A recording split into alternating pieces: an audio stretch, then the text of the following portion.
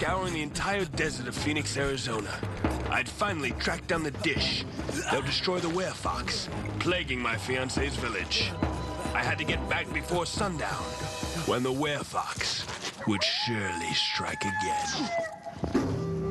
Baron, quickly, come in. The werefox is coming. Where's that saying? I thought she was with you. No, she was with She you. had to be with you. What are you talking about? It's just outside the door.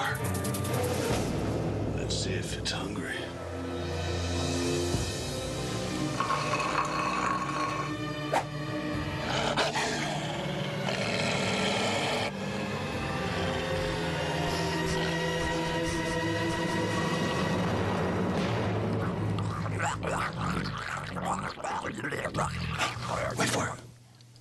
Wait for it. Baron, you have defeated the werefox. You now have my blessing. Thank you. You're so luscious. I'm so happy. I thought this day would never come. Mm, I know. Alone at last. oh. Pardon me. I have a bit of a stomachache. Oh, is it, uh, do you think it's something that you ate? I have a very hard time with spicy food. Mm, spice. I love spice. I could eat a habanero pepper like it was an apple. I don't know if Uncle Frank mentioned it, but it was actually the power of the pepper that I used to defeat the werefox.